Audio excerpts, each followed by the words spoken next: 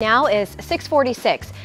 Washington Redskins fans, of course, familiar with head coach Jay Gruden on the field, but off the field, there's a member of his team that many of you don't know much about. I had an exclusive all access pass with Coach Gruden's wife, Sherry Gruden. Here's a snippet.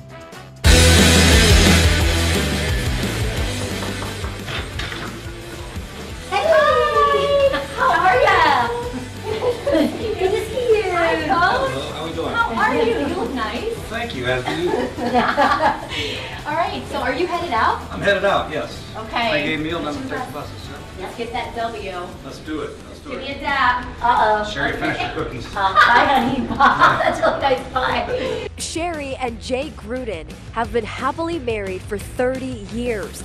They have three sons and two grandsons together. She's been an NFL wife for quite some time now. So this is our patio. It's kind of cool, right? But on the other side, she's an accomplished woman with a lot to say and a strong force for her family. She didn't hold back when we recently got together. Okay, I'm from Louisville, Kentucky. Come from a pretty large family there. I have a couple siblings and um, a lot of my family is still there. I'm the only one that moved away. I met Jay at college. We both went to University of Louisville.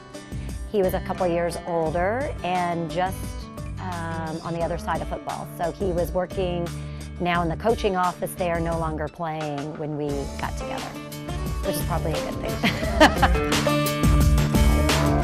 we dated um, a pretty short time and right after graduation for him and my senior year, uh, we got married.